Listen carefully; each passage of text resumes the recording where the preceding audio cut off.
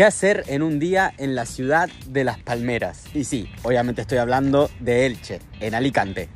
Elche es la tercera ciudad más poblada de la comunidad valenciana y vale totalmente la pena visitarla, sobre todo por la importancia de su palmeral, que es patrimonio de la humanidad y es el más grande de Europa. Es por eso que la visita para mí debe comenzar en el Museo del Palmeral, que vale un euro y en el que vas a encontrar información de este tesoro de Elche y así aprender para qué se utilizan las palmeras datileras y cómo se cosechan, además de pasear por su jardín. Y si de jardines se trata, uno de los más bonitos es el Huerto del a unos pocos metros del museo. Este es privado y la entrada general vale 6,50 euros, un precio que en mi opinión vale la pena pagar, porque es uno de los jardines más bellos de la ciudad y que está lleno de rincones hermosos, además de tener una palmera única en su especie. Luego de visitar estos dos lugares, podés visitar la encantadora Plaza de la Glorieta y después visitar el ayuntamiento, rodeado de hermosos edificios, esculturas únicas y los restos arqueológicos de unos baños árabes. La siguiente parada es la Basílica de Santa María, que es muy importante en la ciudad y es de acceso libre. Luego pasamos por el monumento Geografía de la Memoria, en honor a las mujeres, y nos vamos al Museo Arqueológico y de Historia de Elche, que por 3 euros te permite observar y aprender sobre el municipio. Y aprovecho este momento para preguntar, ¿qué opinan de que la verdadera dama de Elche esté en Madrid y no acá? Los leo en los comentarios. Y para finalizar el día, mi parte favorita, pasear por el parque municipal, lleno de palmeras, que son parte de El Palmeral y que tiene varias fuentes y lugares muy bonitos. Además, podés intentar buscar por el parque el dragón de Elche.